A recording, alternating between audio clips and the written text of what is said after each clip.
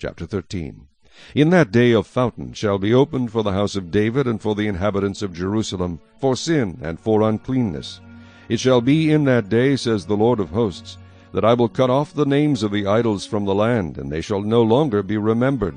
I will also cause the prophets and the unclean spirit to depart from the land.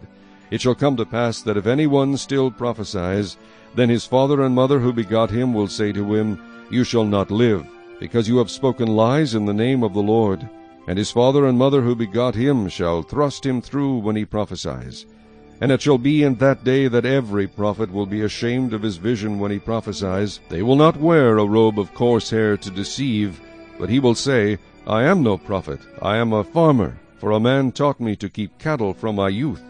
And one will say to him, What are these wounds between your arms? Then he will answer, Those with which I was wounded in the house of my friends. Awake, O sword, against my shepherd, against the man who is my companion, says the Lord of hosts. Strike the shepherd, and the sheep will be scattered. Then I will turn my hand against the little ones.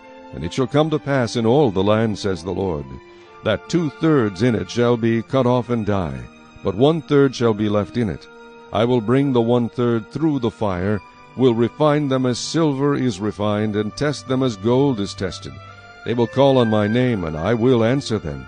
I will say, This is my people, and each one will say, The Lord is my God.